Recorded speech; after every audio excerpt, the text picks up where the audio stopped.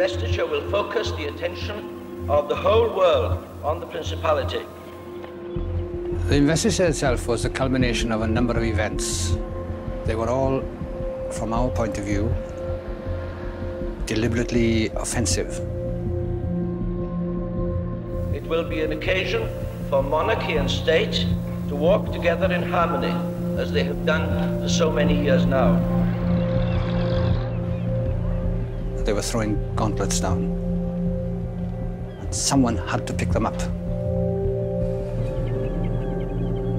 When you came to Wales, of course, there was quite a lot of strong anti-English nationalist feeling. Is it something that you come to understand, come to comprehend since you've been in Wales? You see, I think they feel so strongly about Wales as a nation, and, and it means something to them, and they're, they're depressed by, you know, what, what might happen to it if they don't try and preserve the language and the culture, which is very unique and special to Wales. And if something is unique and special, I see it's well worth preserving.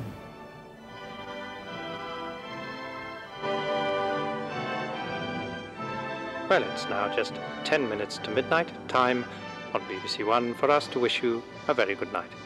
Good night.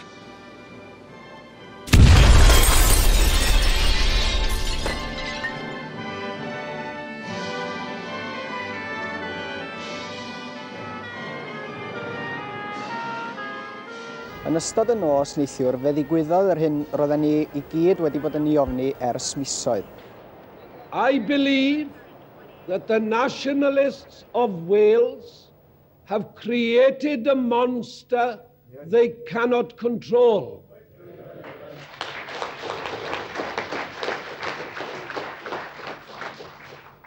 They have created an atmosphere in which violence of this sort is seen as the logical end of their philosophy.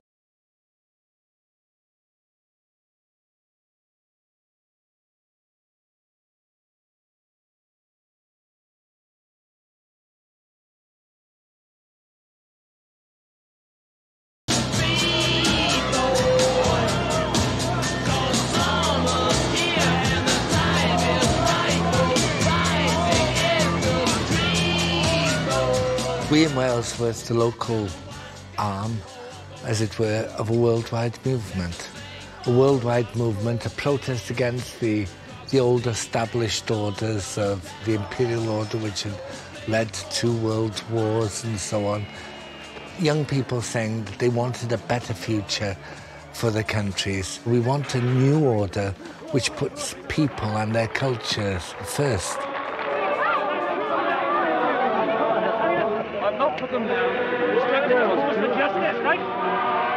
So the irony of the investiture is that it happens at the end of the 1960s, the end of a decade of extraordinarily tumultuous politics, decolonisation, student revolution, the pill, the expectation of equality. It's absolutely huge.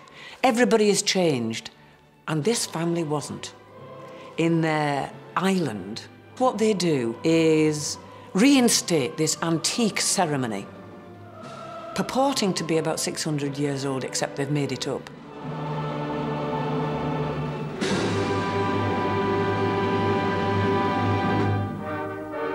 The promise of the investiture ceremony had been made in Cardiff over a decade earlier.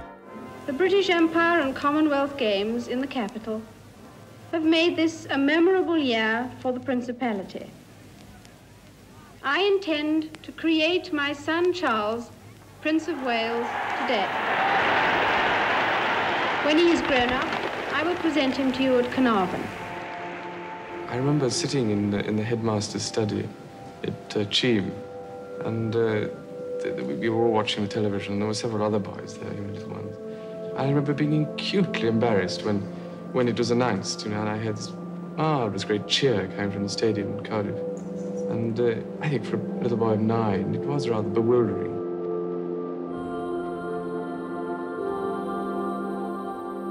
Charles is a frightened, subdued soul. The Queen tells him across a public address system, for goodness sake, that he's going to be anointed the Prince of Wales. This is a very odd way of being a family, but it's a guarantee of the duty of the sons. This is the way that the royal family was really operating at this point. You are told something, you put up with it, you deal with it, and you cope with it. And it's really hard for Prince Charles because he's a very sensitive child, he's a very thoughtful child, and this weighs heavily on him. He really is expected to just accept it and, and get on with it. The idea of the 1969 investiture was popular in Wales. A Western Mail poll at the time suggested that the majority of Welsh people welcomed their new prince with enthusiasm, without ever questioning his historical right to that title.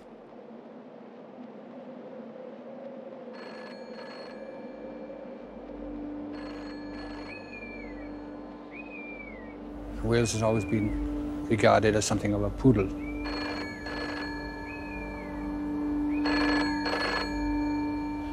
And I think the principle was that we had to show that this was not uh, a sentiment shared by everyone and that there were some people who remembered a bit further back. One of those who questioned the legitimacy of this unfolding ceremonial was a man who had pledged his life to serve Queen and country. A young army sergeant called John Jenkins, who single-handedly took it upon himself to reorganise and mobilise an underground movement called MAC, Mudiad Amddiffyn Cymru, against the most public display of state power this small country had seen in recent years. John Jenkins was born in 1933 and raised in Treharris and then Pen y Bryn in the Rhymney Valley. He was the son of a miner and he described his childhood as idyllic. The young John wasn't raised as a Welsh speaker, but he was fascinated by history and his Celtic roots. In particular, he was captivated by Capel Gwladys, an ancient site on Gelli Common, close to his home in Pen y Bryn. It's a place he would return to many times in his life. He played drums in the local kazoo band, and his love of the drums and the outdoors would take him into the army.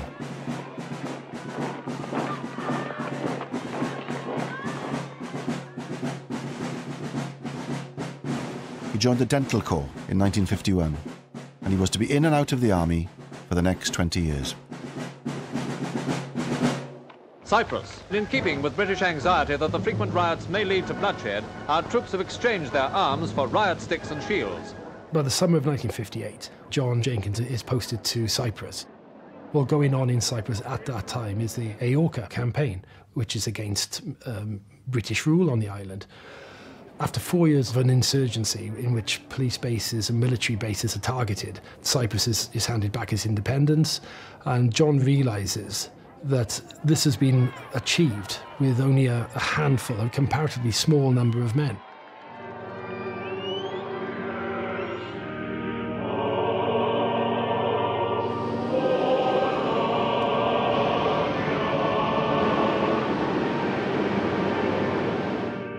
British Empire flourishes because of the coalfields in South Wales, because of the, the iron, the steel, not just in South Wales, not just from the slate from North Wales, but it's an integral part of the imperial story. But by the 60s, that empire is, is dead, essentially. The empire is crumbling. Those opportunities that were there in the empire are no longer there the coal fields are beginning to fail, so that you see unemployment uh, amongst the coal miners increase in the 1960s.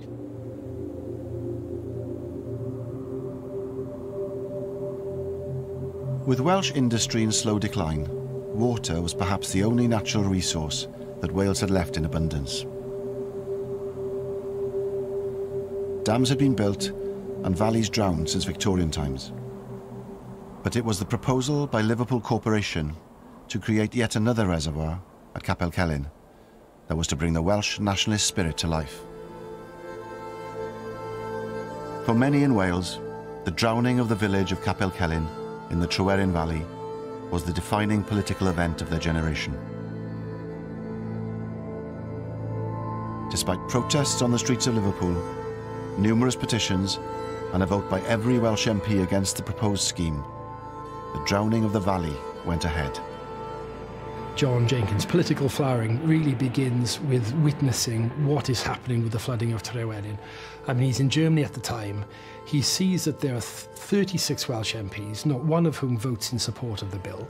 And yet, having exercised this democratic opposition, the voice of Wales is ignored.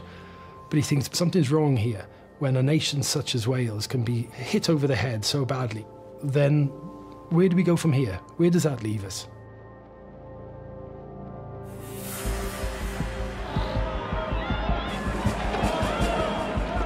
For some people, it said there is no political democratic solution to this, and the only way we can win our freedom, the only way we can look after Welsh interests is not through the ballot box, but through some kind of violence.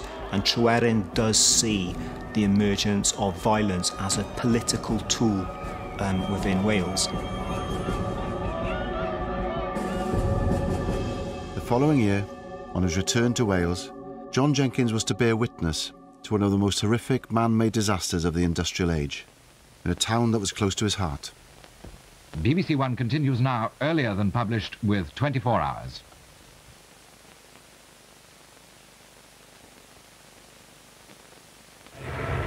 Don't know how to begin. Never in my life have I ever seen anything like this. I hope that I shall never ever see anything like it again. This is one of many valleys in South Wales, in the South Wales coalfield tonight. It's a very special valley. It's a valley that contains 116 children and 28 adults were killed when the slurry from a coal tip engulfed the local junior school.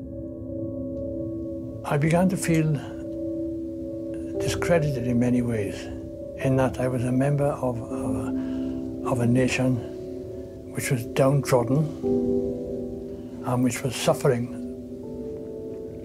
It was my mother's home, you see, for a start, and uh, I felt it very deeply.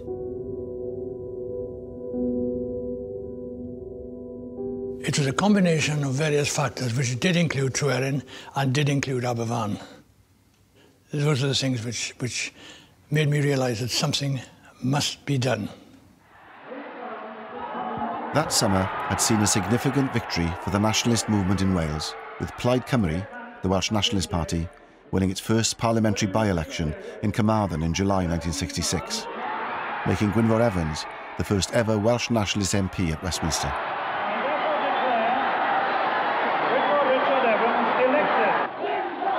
When we look at independence movements, they're always an amalgamation of different interest groups.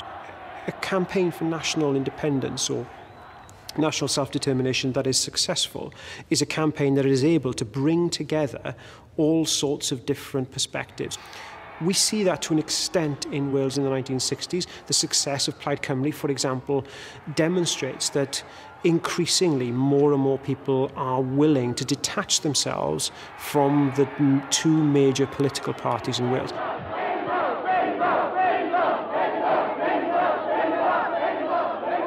But Gwynfor Evans would struggle to reconcile his position as Plaid Cymru's only representative in Parliament with the demands of other groups within the growing movement for Welsh independence.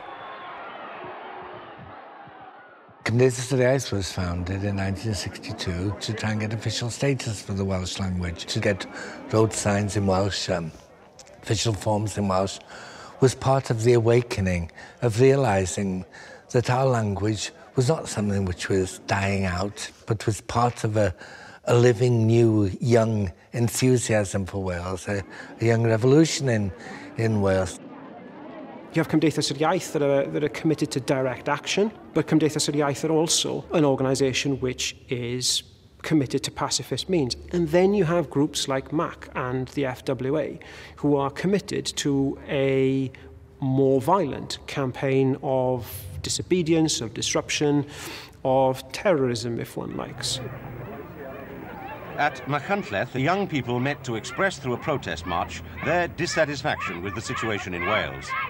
These rallies drew together a variety of organisations, the Free Wales Army, the Young Patriots League, the Patriotic Front, the Anti-SICE League, and it's open to question how far these various groups enjoyed shared objectives and shared membership.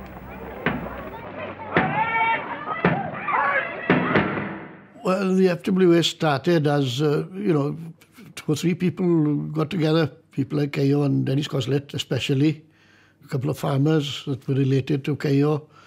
Well, Cayo had a privileged boyhood and uh, education. Uh, you know, public, he went to two or three public schools, I think.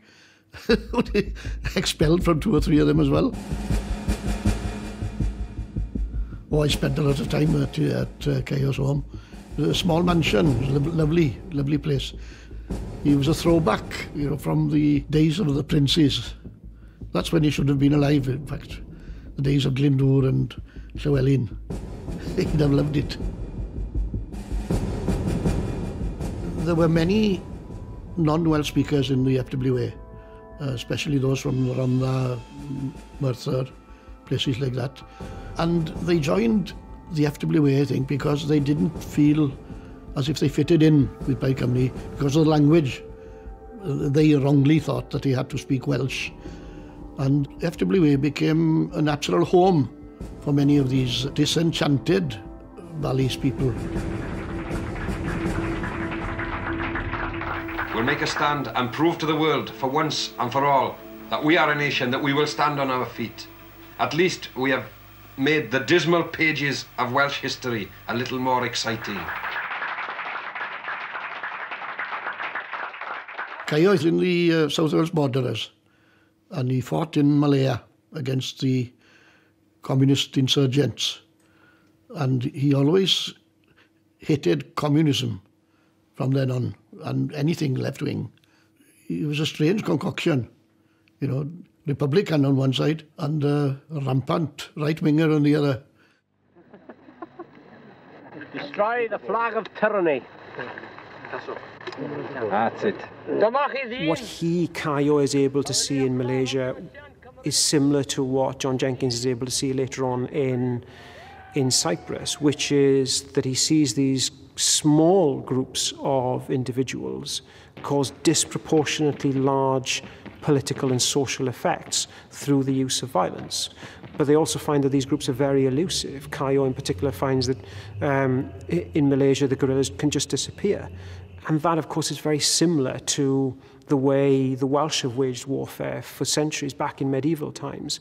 The landscape of Wales is very rugged, is very rural. And if you look at the ways the campaigning of, for example, Owain Glyndŵr, there's a big emphasis on small, what we might now call guerrilla tactics. Joe Cap, found 30 feet from the scene, seemed to point the finger conclusively towards Cayo Evans and his men. I don't think it was being worn by anybody who undertook the operation. It was dropped deliberately by somebody, put it that way.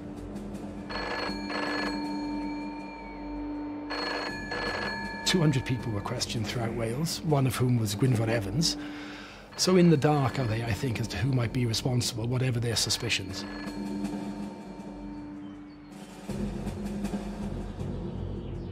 The Clywedog explosion had in fact marked the return of a shadowy organisation which had been started back in 1962 in reaction to Tryweryn.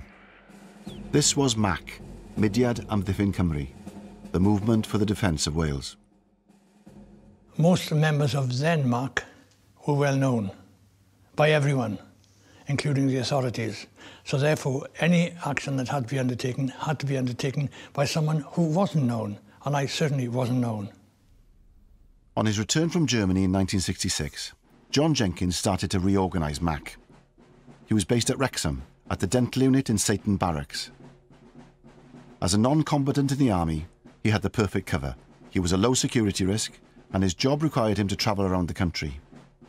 Plus his role in training the TA band brought him into contact with a new source of potential recruits. Some people would come up and say, oh, so-and-so is a good lad, you know, he's, he's, uh, he's really raring to go. And if he then proved beyond any doubt that he was the right sort of material, he would be recruited and he would then recruit his own cell. One or two people at the most, no more. You know your immediate two or three people in the cell, and you may know the one superior person above that, but you don't know anybody else. They wouldn't even know how to contact me. I would contact the leader of that cell. He was the only one who knew my face. He Didn't know who I was, didn't know where I was from, nothing. I would suddenly appear because I would know where he was all the time. One of John Jenkins's first recruits was to be a 19-year-old flautist in the TA band called Frederick Ernest Alders. It was to be Alders who would drive John Jenkins to a small village in mid Wales called Llanrhaeadr-ym-Mochnant to plant his first bomb as Mac's new leader. Most of the villagers who heard the loud explosion thought it was thunder.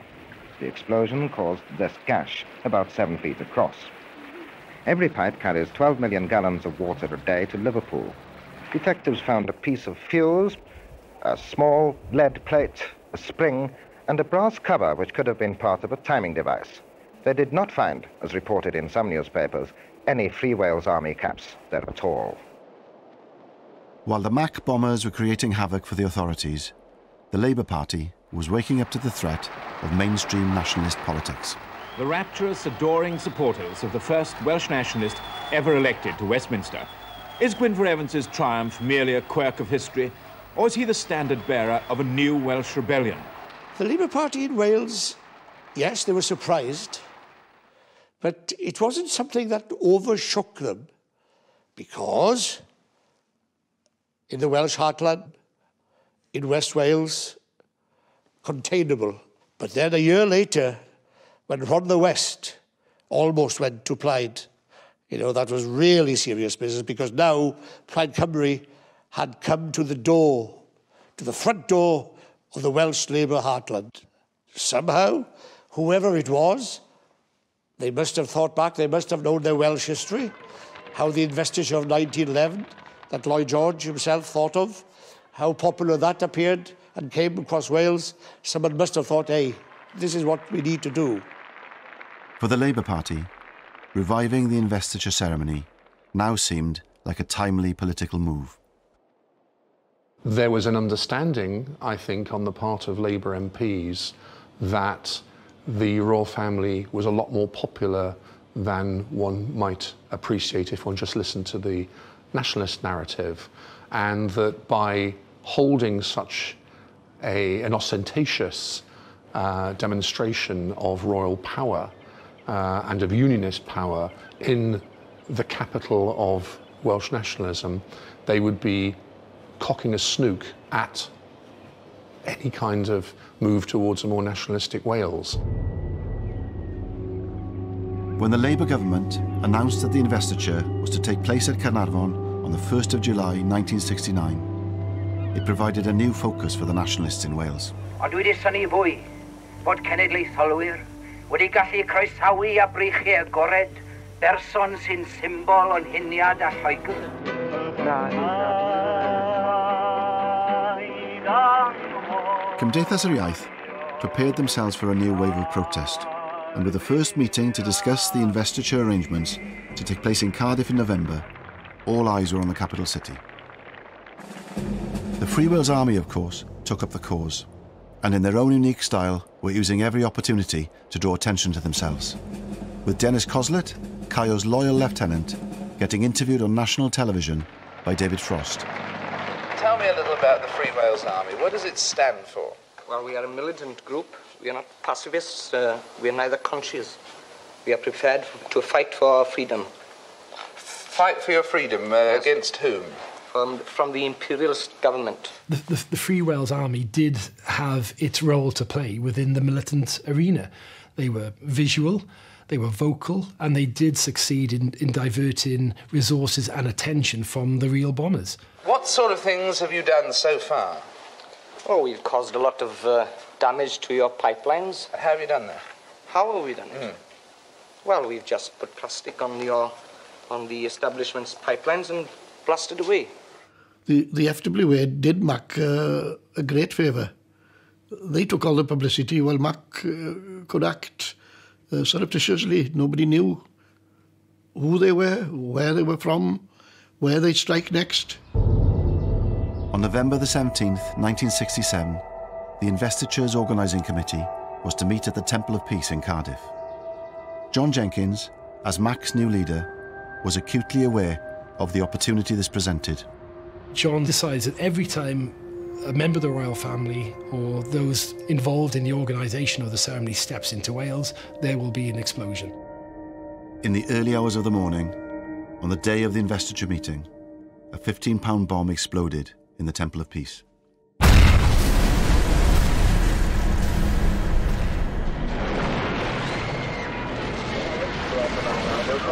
Roads out of the city were immediately sealed off. And within an hour of the blast, known extremists throughout Wales had been roused from their beds for questioning. I believe that the nationalists of Wales have created a monster they cannot control. They...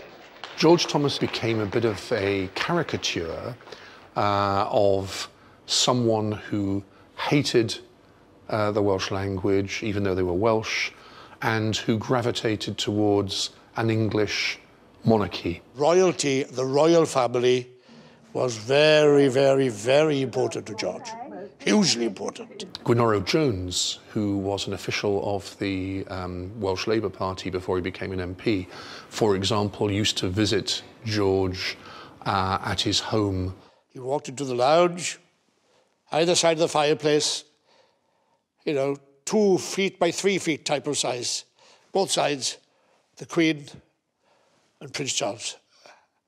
Amazing. Funny thing to keep in your lounge, isn't it? The first appointment of the day for George Thomas MP, Secretary of State for Wales. Breakfast with Mound.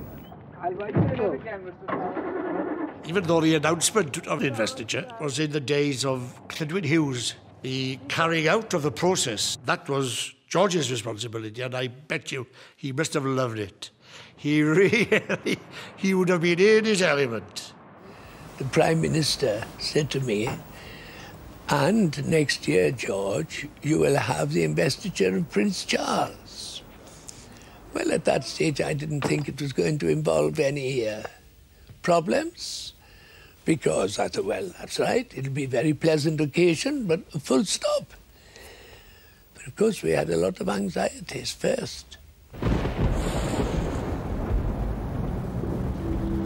A device had been placed on a basement windowsill, and the blast, which was heard three miles away, blew indoors and threw furniture around. No sooner had George Thomas become Secretary of State than Mac struck again, audaciously blowing up his headquarters at the Welsh office. Minister, do you think that, uh, say, Home Rule for Wales would stop this sort of thing? Not at all. A Home Rule for Wales isn't wanted by the Welsh people. You'd start a lot more trouble if you tried to give Home Rule to Wales. What we're seeking for is a greater sense of participation in the work of the government. Prince Charles, on a visit to the Welsh office, has his first experience of anti-investiture protest. But the throwing of smoke bombs evoked little sympathy for the protesters, who were accused of, in the words of one church leader, ignorant discourtesy to a young man who is in no way responsible for the position in which he finds himself. la la la la la la la la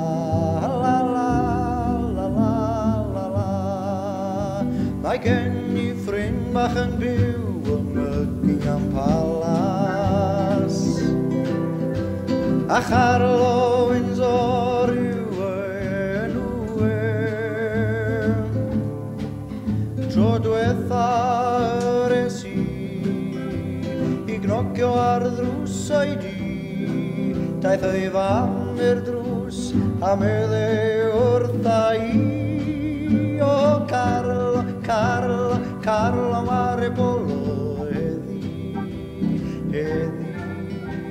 Carlo, Carlo mare bolo dani Well, I was um, I was a student in uh, University College, Aberystwyth as he was in, at the time. Prince Charles was to be seconded to Aberystwyth for six weeks of the summer term, during which time he's going to learn the Welsh language, he's going to learn everything about Welsh history and um, Welsh culture, so that he'd be acceptable then as Prince of Wales. It was quite a surprise when I learned that I was going to be sharing lectures with um, the Prince of Wales. I wasn't very excited about that. In fact, I thought it was pretty awful. I thought it was quite ridiculous that he would spend a term and learn all he needed to know. There we go. Not my choice. Uh, but when I was chosen by my fellow students to be the chair of Plaid Cymru in the university, uh, it did become a bit of my business, I have to say, because we became then um, open to persuasion by the authorities to behave ourselves and not to engage in what was called immature protest against the prince. I received a letter from the principal at Aberystwyth University, and there was a, an envelope inside an envelope, and this was marked as to be opened only by the Secretary of State for Wales personally. So I opened it. And in it, he expressed his grave anxiety for the physical security of Prince Charles. I couldn't keep this to myself. I had to report it to the Prime Minister, Harold Wilson, who said to me, What is your advice, Secretary of State? I said, To proceed. That we cannot have a part of the United Kingdom where a member of the royal family dare not go for safety reasons. We must proceed. The secret police was there at work in the college in Aberystwyth at the time. They had two functions. One was a legitimate function to ensure the personal safety of someone who was the heir to the British throne, but they were also there to ensure that the British state was not politically embarrassed. When uh, we held our protest, the day in which he arrived at the college, I climbed onto the roof of the old college building and I tore up some pieces of paper and I dropped them down as confetti to mark the, the marriage of the University College of Wales with the British establishment that they were willing to sell out to be used for a blatantly political purpose. I was told later on that police marksmen were on four other nearby roofs with their rifles trained at me. So at the time, so had it even seemed that I was dropping anything more sinister than a tiny bit of paper, uh, I'd have been taken out immediately, therefore. Mr. Millward, as one of the Prince's tutors, you've been putting the final touches to his timetable today. Just how rigorous a syllabus will it be? It's quite a heavy syllabus. He'll have his plate uh, quite full during these nine weeks, and uh, he's very willing to work hard. It was very strange to be in Edward Millward's company because he was vice chair of Plaid Cymru in Aberystwyth and he was a member of staff and he was the tutor who was teaching Prince Charles Welsh. And he was one of the people who was most concerned that Plaid Cymru, uh, the University of Plaid Cymru responded maturely and sensibly and didn't make fools of ourselves or the Prince. But he was felt by the students to have sold out to the institutions by um, cooperating so enthusiastically.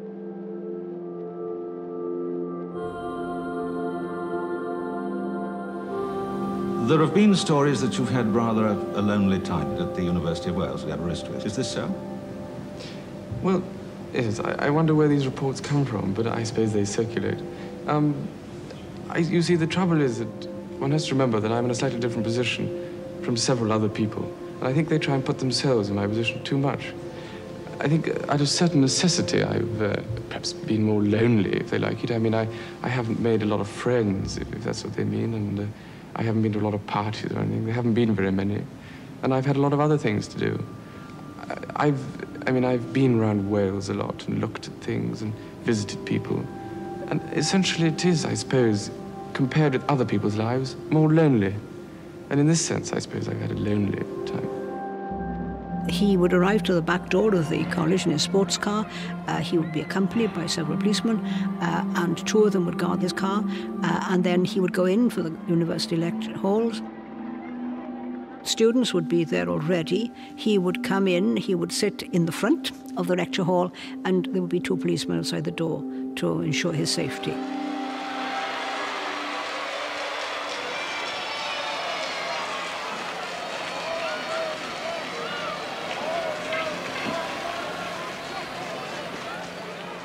Also learned the Welsh language. Did you find that very difficult? Because most English tongues find it very difficult to get around. Well, it, I think all languages are difficult, but I suppose there are certain things. I mean, the double L's. are terrible. well, they were fairly difficult, except that I went to Llanelli not long ago, and the mayor said, Can you say Llanelli? So I said, Llanelli, and he wiped the saliva out of his eye and said, Well done. But it's, you know, the, the there is a way of doing it. You put your tongue in a certain place and blow. The speaking Welsh, like, you know, is, um, uh, it's, a, it's a trick and it's worked because he's done a very short course in a language laboratory which has taught him how to pronounce words. And he, he's always read, he reads it off the paper. Rydw i wedi syni at yr holl gystadlaethau yn y sefydliad rhagorol yma, ac rydw i wedi cael blas arbennig ar y canu brwd a phersain. Canu mor frwd, fel y byddai'n dda eich cael chi gyd yng. Prince Charles has won over the hearts of uh, most of the middle-aged women, especially. Uh, and this has been effective, you know, and the ceremony itself was cooked up more or less for the 1911 ceremony at Carnarvon uh, by Lloyd George. And uh, it was then a political gimmick, and to a great extent it is now also a political gimmick. Well, this picture is uh, a very splendid picture of the presentation of the very first English Prince of Wales to be presented to the Welsh people in uh, 1284. And this little fellow here is the actual Prince of Wales being held by his dad King Edward I. And here are the painters of this splendid picture. There's Ian, Lynn and Mark. Hello. Now, of course, there is the famous story that uh, the Welsh would had said they were going to refuse to have any, any Prince of Wales who didn't speak Welsh. And so Edward tricked them and he brought out his newborn son who spoke no language at all and said, here is a Prince of Wales who doesn't speak English that is a complex moment of, of myth making, really, uh, because actually the investiture of Edward II took place over in Lincoln. Uh, in East England rather than Carnarvonshire in 1301, 17 years later. And no ceremony was recorded, and certainly nothing happened in Carnarvon um, because Edward wasn't there. So when we think about these ceremonies, we've got to think about an idea first coined by historian David Cannadine, that was the invention of tradition. Uh, the monarchy stress through staging royal ceremonies in more public ways, that this stuff is old, that it has a long tradition reaching back hundreds of years, if not a thousand years, when in fact all of the, the pageantry, the pomp and circumstance, the colour, the gold, the glitz that we associate with the modern British monarchy, a lot of it's come from the 19th century it, as a way of sort of articulating a sense of shared history and heritage that unites the nation as a whole. 1969 is definitely a departure from 1911 in terms of the way the ceremony looks and feels. And instrumental to the changes is the figure of Lord Snowdon, Anthony Armstrong Jones, who had, at the start of the decade in 1960, married the Queen's younger sister, Princess Margaret. And in his approach to the ceremony in 69, he tries to incorporate um, all of the sort of the feel of the 1960s, that it is a more modern ceremony. I think that when I did it, there are certain people um, thought I was going to be a whiz kid and um, do an ultra modern thing. Actually, it was very traditional. And if um, it's sort of like what Henry V would have done if he'd had perspex. I wanted it to be romantic. I wanted to uh, be good on television. That was the only thing. I did not want it to be an elitist ceremony. In the stage management of a national occasion, there's never been such a bias towards television before. Scarcely a battlement here without its cameras. And under the guiding hand of Lord Snowdon, the castle has become a kind of medieval television studio. I mean, it would be madness to design it just for the few inside. One must design it for the 500 million viewers, which is believed to be watching. And the rehearsal started where the procession itself will start, at the special Royal Railway platform built near a factory two miles from the town. It was one of the biggest security uh, the country had ever seen at that time. There were nearly two and a half thousand police officers. They came from everywhere, including the plainclothes. I think there were about a thousand of those, one and a half thousand nearly uniformed officers. To organise such an event was, was enormous.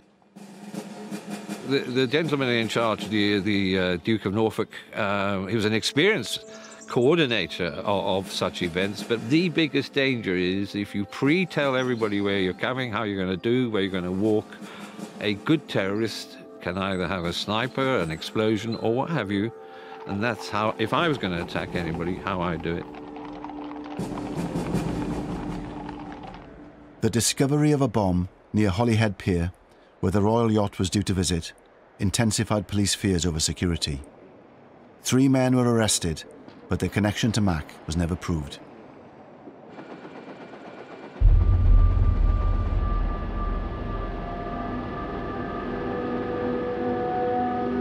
Hello and good evening from Carnarvon on the eve of the investiture.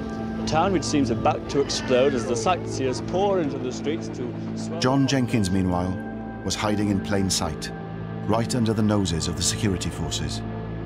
Still a sergeant in the British Army, he had managed to get himself stationed at a temporary army camp in Caernarfon, from where he was directing his bombers. The night before the investiture, there were four groups out. The object of the exercise was to disrupt the ceremony and to cause as much uproar as possible. One was a, a, a bomb placed somewhere near the where the, where the um, royal family coach would be coming down. Not near enough to cause any damage, but near enough to cause uproar. Another was placed in the chief constable's garden, and that was timed to create a 22 gun salute rather than a 21 gun salute. And another one was to blow up a pier at which the Royal Yacht was due to harbour, which meant it wouldn't be able to harbour because there was no pier there. The fourth device was to be set in Abergele, 35 miles up the coast from Caernarfon, by two MAC operatives, Alwyn Jones and George Taylor. John has insisted that he instructed the cell leader, Alwyn Jones, to target a government installation in the town, a social security office, because Abergele is en route to Caernarfon, and John is, is aware that the Royal Train will be passing through Abergele on its way to Caernarfon. I know people like to say, oh, the Royal Train, because it makes good copy. It was not true. We did not target the Royal Train. There was no intention to hurt or kill anybody. There never was.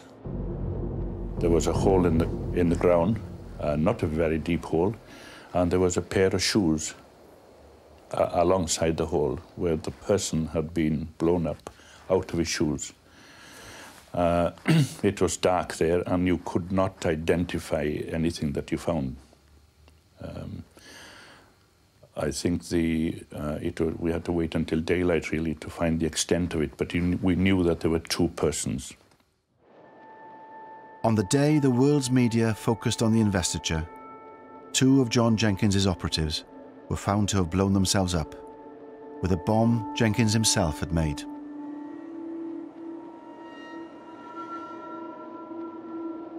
An officer put his head in and said, Well, we got two of the bastards last night.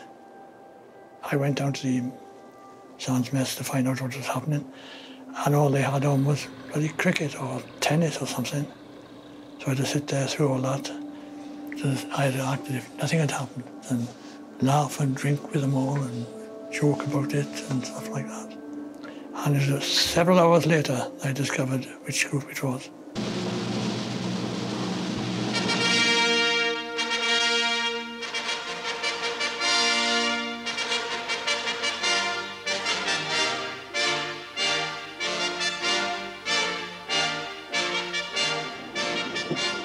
The programme went on air, two unexploded devices still remained in Carnarvon.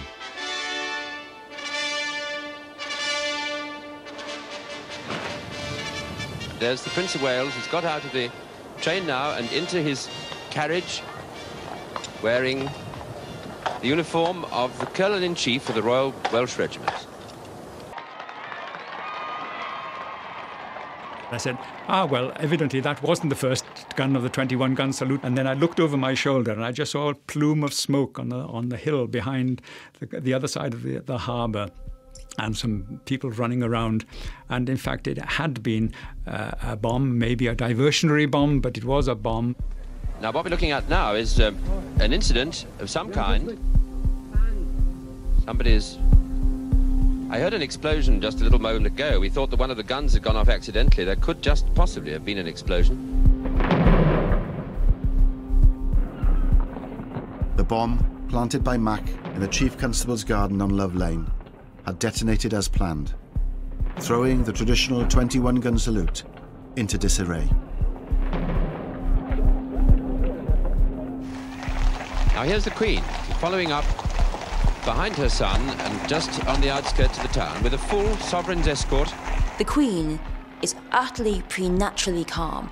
Nothing, nothing can flap her. I mean, the Queen herself was very nervous when she went through the coronation. She was very nervous about the ceremonial, very nervous about the fact that if you put a foot wrong on TV, it'll never be forgotten.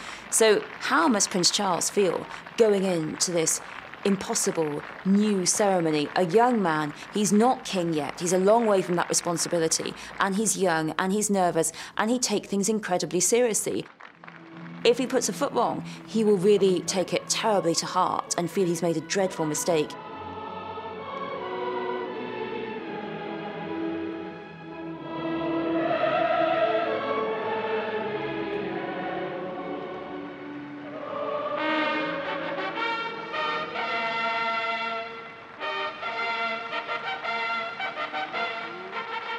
Lord of the Isles and Great Steward of Scotland, Prince of Wales and Earl of Chester, and to the same our most dear son, Charles Philip Arthur George, So the story goes, whether true or false, that the, the coronet designed by the Garter King of Arms and Louis Osman, that the bauble at the, the centre of the coronet malfunctioned just days before the investiture.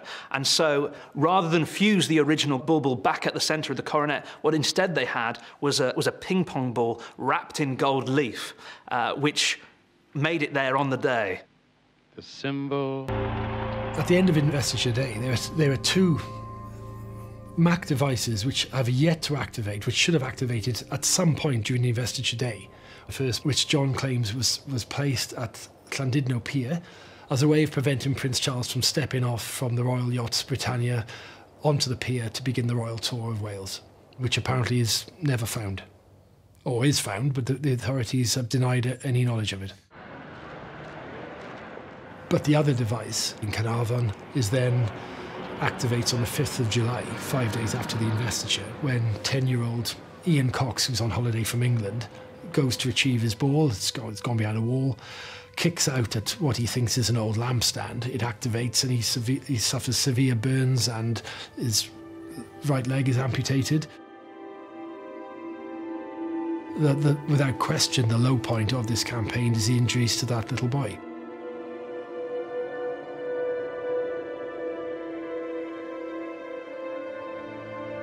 The perfectly understandable response is that such injuries to a 10 year old boy can never be justified, whatever the political cause. Whenever anything failed to detonate, a call was always made to the police to tell them about it and where it is. And this was done. But they didn't take any notice of it, apparently. So I made a point of asking when I was captured eventually, uh, why didn't, didn't you take any notice of the call about the, the, bomb? And they said, because it was one of thousands we had on that day, and we couldn't possibly investigate all of them. Such a campaign of, of sort of indiscriminate time devices, um, deaths and injuries are perhaps inevitable one way or another. Explosions on remote pipelines in the Welsh mountains is one thing, blood on the streets is quite another. This is as, as bad as it gets.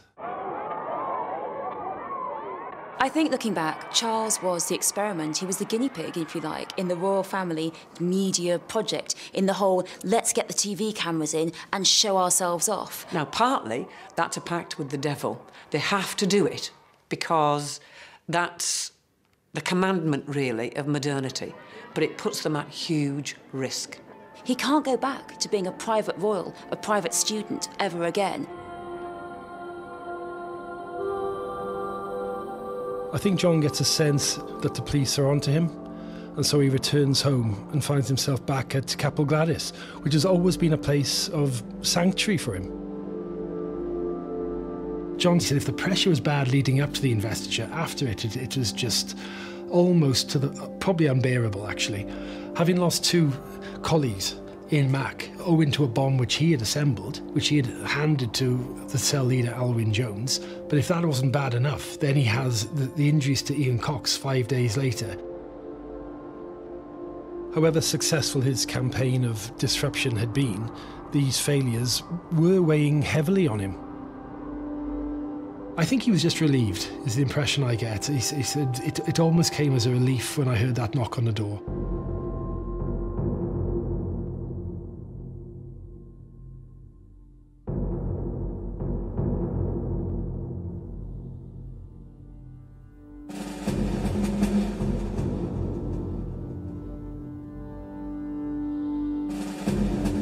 Years on, aged 86, John Jenkins is seeing out his days in a nursing home, having forgotten nothing. While history seems to have forgotten him and the war he once waged against the British state, he says his only regrets are the deaths and the casualties that he caused. The investiture thrust Charles into a life lived under constant media scrutiny and intrusion. Fifty years on, at the age of 70, he remains a monarch in waiting and the longest serving Prince of Wales in British history. Sean Lloyd asks what the Prince of Wales has done in and for Wales in Charles, Prince for Wales, available on BBC iPlayer.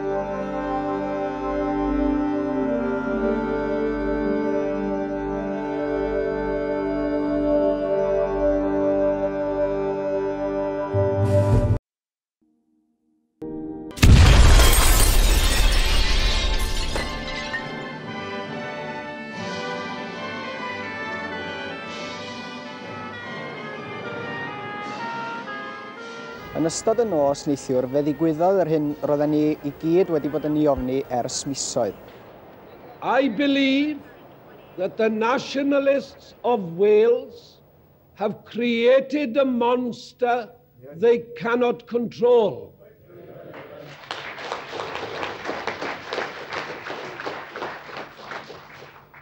They have created an atmosphere in which violence of this sort is seen as the logical end of their philosophy.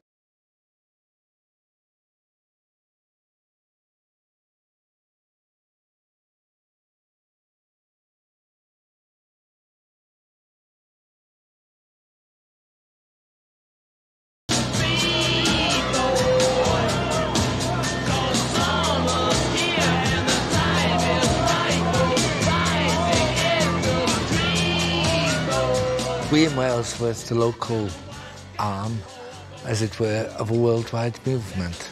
A worldwide movement, a protest against the